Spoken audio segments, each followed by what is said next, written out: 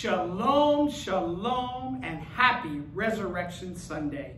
I'm going to be reading as we open from Matthew chapter 28. After the Shabbat, at dawn on the first day of the week, Mary Magdalene and the other Mary went to see the tomb. Suddenly, there was a great earthquake, for an angel of the Lord descended from heaven rolled away the stone, and sat on it.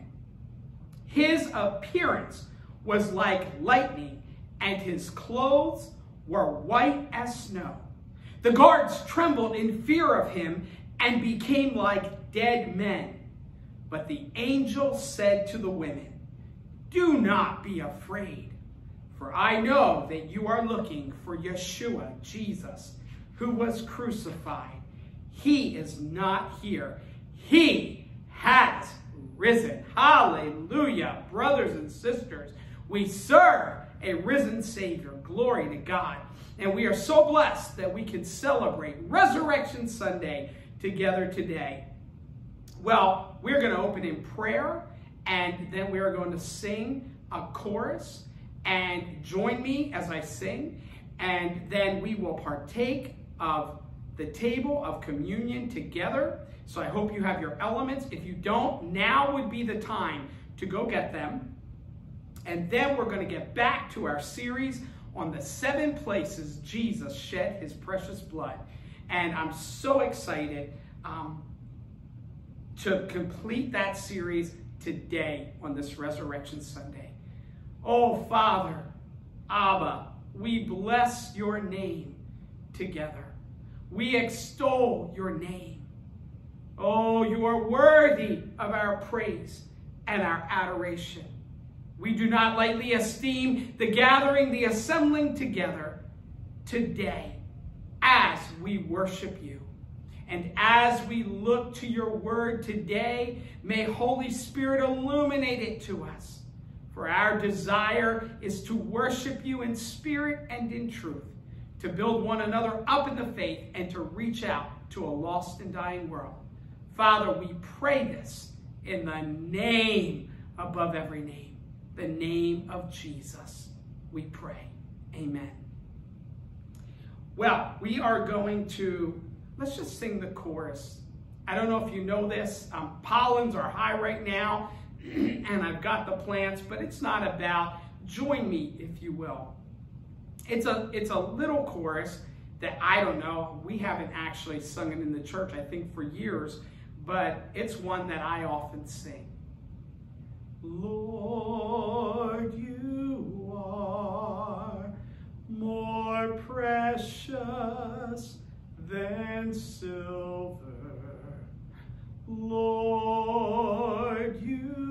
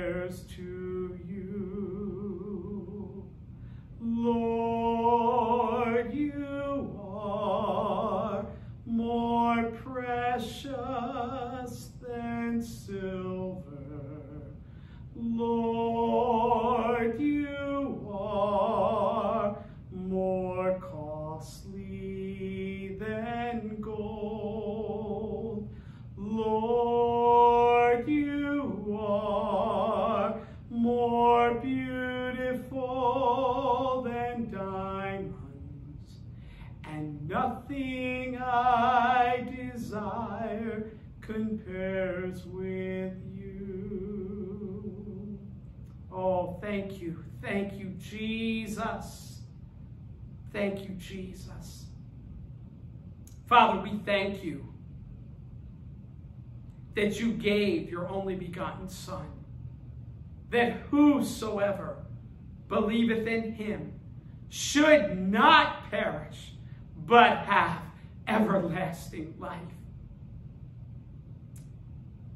Your word says You sent not your Son into the world to condemn the world, but that the world through him might be saved. And he who believes is not condemned, but he who has not believed already is condemned. Thank you, Jesus, for your precious blood that paid the debt for our sins once and for all. You died, was buried, and hallelujah, on the third day rose from the dead. You are alive, you are risen, and we rejoice. We will never forget that on the night you were betrayed, you took the bread and broke it and said, Take, eat. This is my body, which is given for you. You told us to do this in remembrance of you.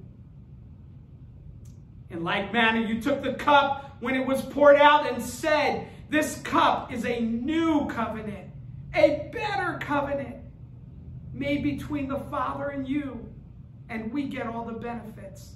Thank you, Jesus. A new covenant in your blood.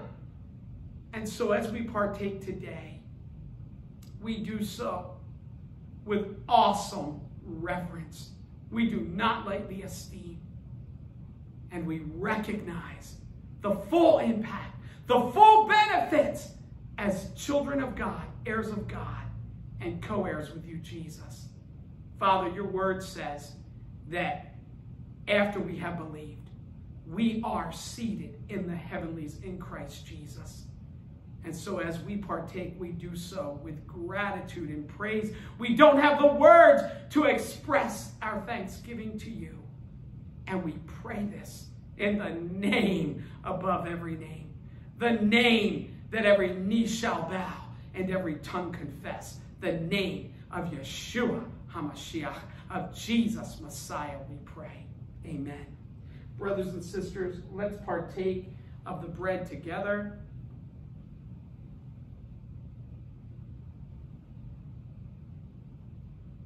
And we'll partake of the cup.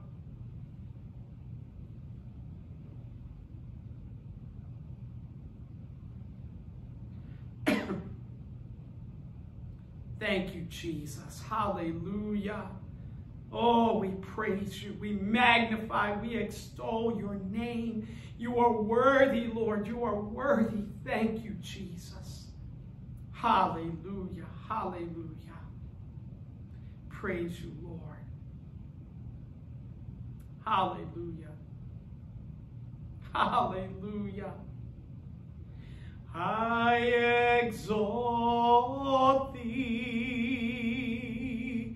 I exalt thee.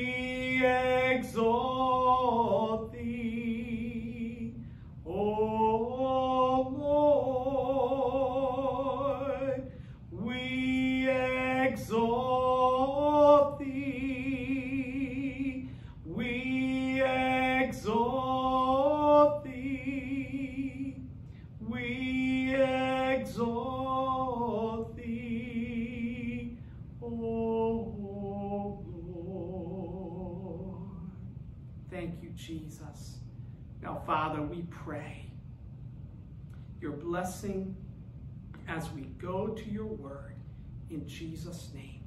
Amen. So, we've been talking about the seven places Jesus, Yeshua, shed his blood.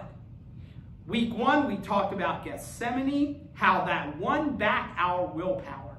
Week two, we talked about the stripes on his back, how it won back our health.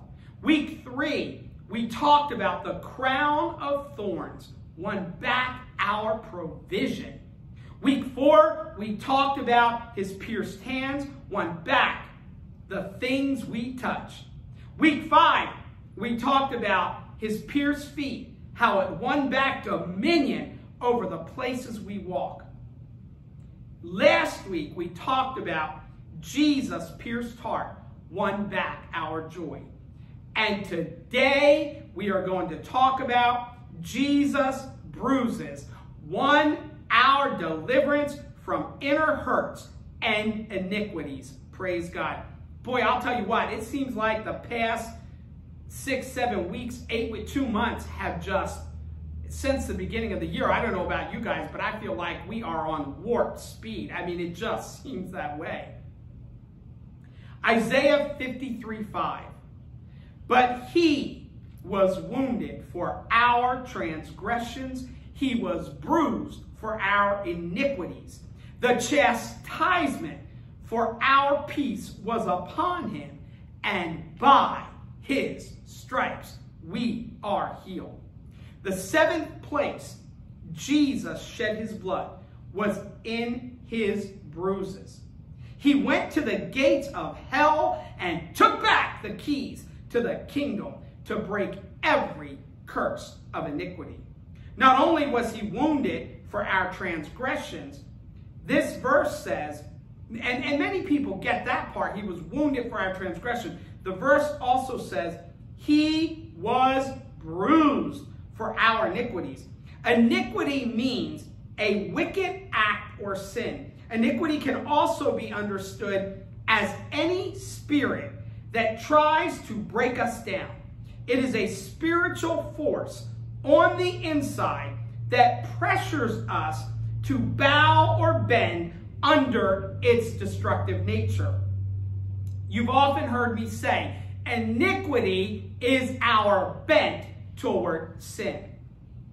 If you have bruises on your body, it means you are bleeding on the inside. Some bruises can last a long time and go very deep. God said, not only will I forgive what you've done on the outside, but I'm going to give you power on the inside so you can walk in victory. When we talk about breaking generational curses, we are not talking about struggling against a character weakness for the rest of your life, nor a family curse for the rest of your life.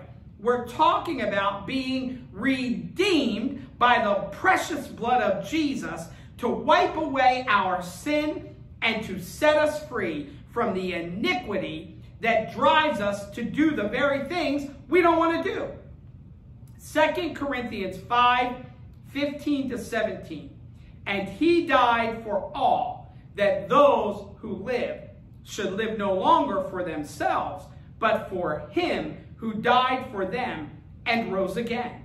Therefore, if anyone is in Christ, he is a new creation. All things have passed away. Behold, all things have become new. Now, at the end of, we're talking about the bruises now, I'm going to go over the gospel. And we know that we are 2 Corinthians 5.21. For God made him, Jesus, who knew no sin. He knew no sin. He always was God. The part of the He is the eternally self-existing God. Um, in the persons of Father, Son, and Holy Spirit. Jesus, Yeshua, is the second person of the Godhead. And so we're talking about Jesus left glory, laid down his glory, was born of a virgin, wrapped in flesh, lived a perfect life, never sinned, and shed his precious blood on the cross of Calvary to pay the debt for our sins once and for all. All sufficient, past, present, and future sins. And the nanosecond you believe on him, you are saved, sealed, and sanctified. Amen? Until the day of redemption. So when it says, For God made him who knew no sin to be sin for us, that we might become the righteousness of God in him. Sin, once you believe, can no longer be imputed to your account. Judicially, we are justified just as if we never sinned because Jesus paid the debt. When he cried out on the cross, to tell us that it is finished. The debt is paid in full. The job is completely done. Hallelujah. Jesus did that. Have you believed on the Son of God? Romans 10 13 says, All, all, it means everyone, all who call on the name of the Lord shall be saved. I said John 3.16 in the prayer earlier. For God so loved the world that he gave his only begotten Son, that whosoever believeth in him should not perish, but have everlasting life. I'm a whosoever. Are you a whosoever? And aren't you thankful for the redemptive work of Jesus on the cross at Calvary? And so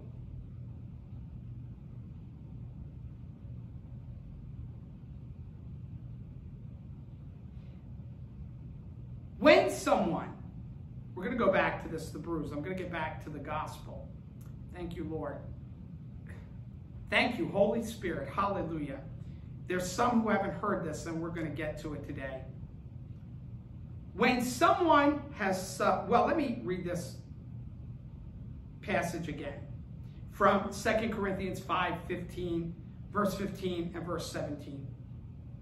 And he died for all that those who live should live no longer for themselves, but for him who died for them and rose again. Therefore, if anyone is in Christ, he is a new creation. Old things have passed away. Behold, all things have become new. When someone has suffered a physical strike or a blow, they develop a discolored bruise. Yet a person who has been bruised on the inside often doesn't show that hurt on the outside. And I'm sure that many of you can, uh, can testify to this. We'll go around and ask one another, how you doing? How are you today? And often people just give a, re, uh, you know, a polite reply.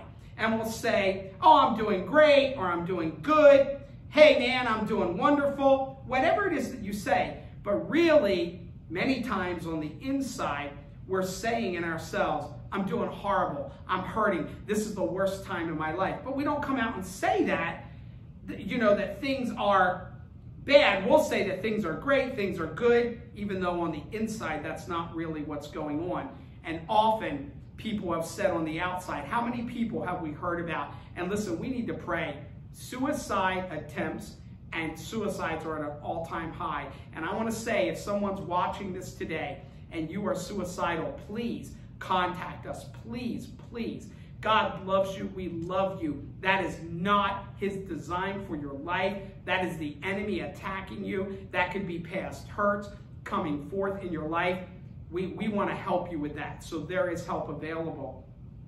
And so, but back to the point, people can say on the outside, I'm doing great. I'm doing wonderful. And on the inside, they're dying on the inside. An example might be a woman might be sitting in the pew singing, What a mighty God we serve. Great song.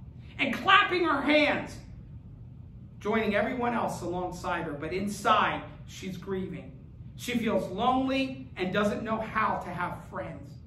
Many times through decades, as I have been in pastoral counseling situations, many, many have had things that have happened even as children. Maybe she was molested as a child and she's bruised on the inside. When a part of our body gets bruised, that area becomes tender, and we don't want anyone touching it because it hurts too much. There are actually people who have buried or it's you know recessed within them that they bury it. The pain is so deep, but that bruise is still on the inside. Our bruises don't always show, do they? We put it we put on a good face and cover it up.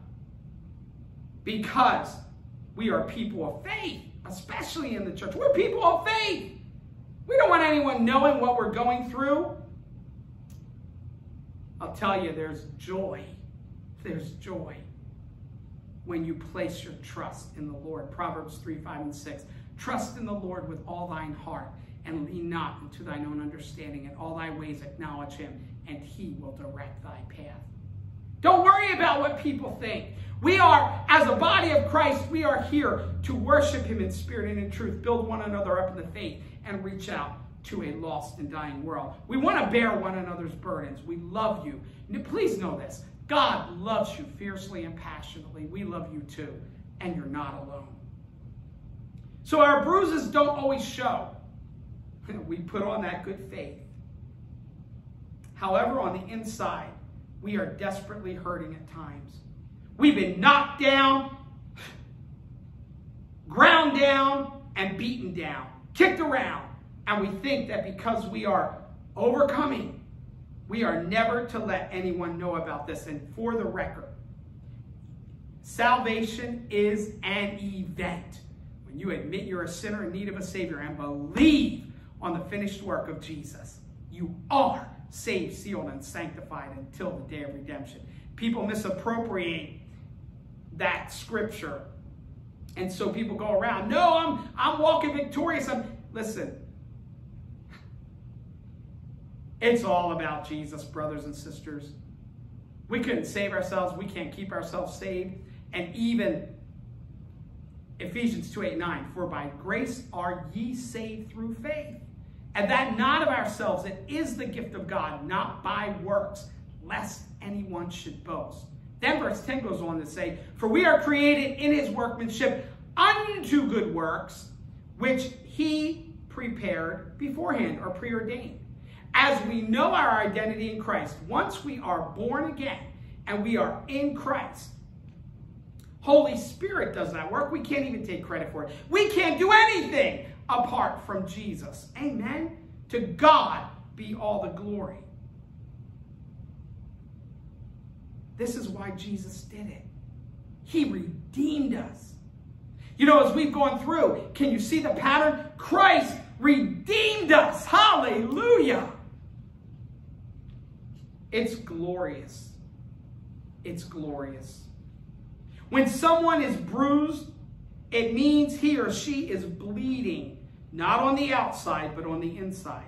God said, Not only will I forgive what he's done on the outside, but I'm going to change that person on the inside. Jesus shed his precious blood. Hallelujah and on the inside as well as on the outside. He was bruised inside to change the person on the inside, to change the nature that causes him hurt or suffering. Through Jesus' shed blood, we are not just free, we are free indeed. 2 Corinthians 5.21, I'm going to say it again. For he made him who knew no sin to be sin for us, that we might become the righteousness of God in him. Brothers and sisters, I know many of you that are saved, and no one's ever given you the message that Jesus, hallelujah, redeemed us. You get your salvation but do you understand that we can have that peace and that joy that comes only from being born again?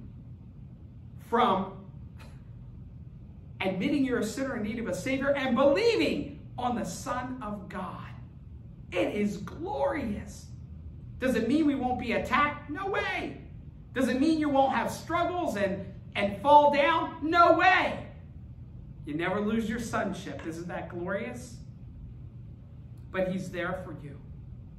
And we want to speak the word over our lives. This is why we often talk about, as believers, the nanosecond, I love that word, you believed.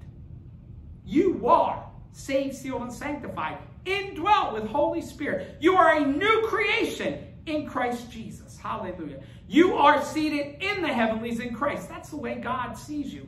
That's the way Abba sees you in Christ. Don't, don't allow the past to strangle, to have strongholds in your life. And that doesn't mean you're not saved. You want to know something? We've all had and we get strongholds. Strongholds are lies that we believe to be truths that work against the purpose and plan of God in our lives. He loves you. He loves you. And as we have gone through, as we have gone through, I want to read those again. As we have gone through, Gethsemane won back our willpower. This is his shed blood. The stripes on his back won back our health. The crown of thorns won back our provision. His pierced hands won back the things we touch. His pierced feet won back dominion over the places we walk. His pierced heart won back our joy. And his bruises won our deliverance from inner hurts and iniquities. Oh, how awesome is our God. And I would be remiss if I did not talk about on this Resurrection Sunday. There's so much, so much that we could talk about. But earlier, as you know, I paused. I felt Holy Spirit leading me to share this with you. And I think there are many who may not even know this. So I want you to understand this. A couple things. First of all, in the Old Testament, when they would bring the animal to be sacrificed and they would place their hands on the head of the animal, that represented the transference of their sin onto that animal. In other words, their sin imputed to that animal, right, to pay the penalty for their debt. Now look at this. They would have to keep sacrificing animals, right? But the precious blood of Jesus paid the debt once and for all. And when he hung on that cross, now, as we've gone through, we've talked a lot about what Jesus went through. Oh, brothers and sisters, I don't want to go there today. Even today, and there are many times I weep when I think about what Jesus did for me. That's his love for us. As we went through and we talked about the scourging, and I don't want to talk about it again today, um, as we talked about the, everything he went through, the mocking, the spitting on him, the crown of thorns. You know, the prophet Isaiah gives us a really good depiction that he was so marred, he was so beaten, he took it, he took it all for us that you would not have even recognized him. Some scholars say you wouldn't have even recognized him barely as human, but you and Jesus hung on that cross naked, not like Hollywood depicts it. He was naked. His mother was watching as her son hung on that cross as Savior of the world. That, whew, the blood of Jesus that He shed for us. This is God's love for us. This is how much He loves you. He did it and he conquered. He shed his blood. It paid the debt once and for all. You know, justice would be getting what we deserve. Mercy is not get, getting what we deserve. But the grace of God is getting what we don't deserve. His unmerited favor. Not only did Jesus pay the debt for us. Listen, if, if my associate pastor Greg killed someone else. I don't even want to name a name. And he's in court and he's guilty. And the judge is going to give the death sentence. And I was permitted to go up and say, Yes, I know there has to be a penalty, but I'll take his place. Take me instead. That, that would be amazing, right? While we were yet sinners, Christ died for us. But it goes further, brothers and sisters. Jesus not only died in our place to pay the debt for our sins.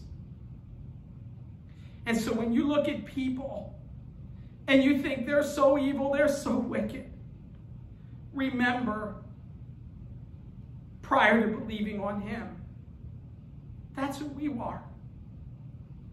And God loves that evil, wicked person. So much so that Jesus shed his blood pay the debt once and for all if they would but believe. And it's so precious and so amazing.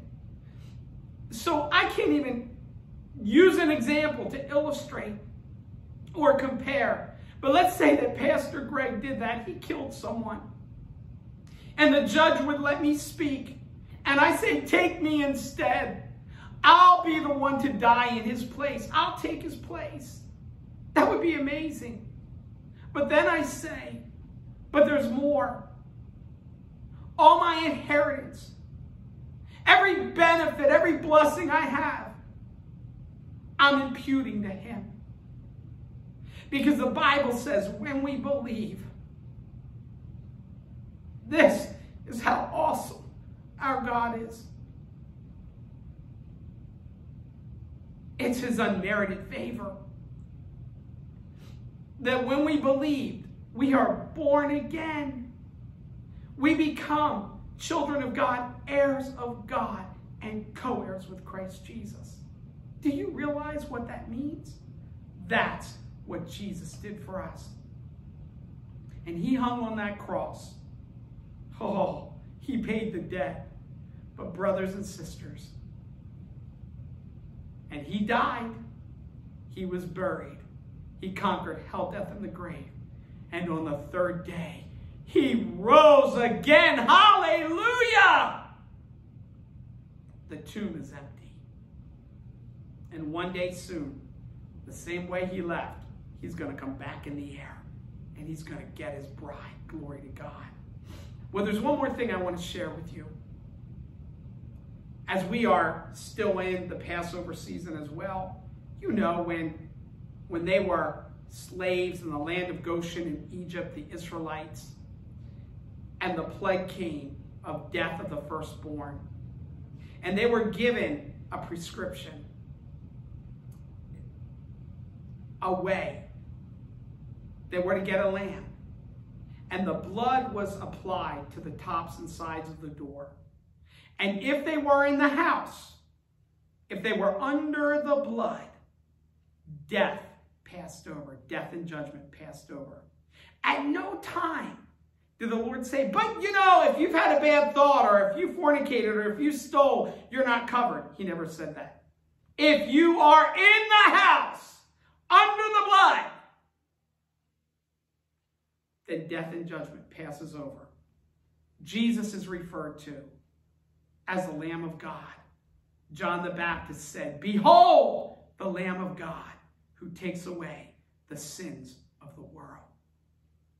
When Jesus shed his blood, it was once for all.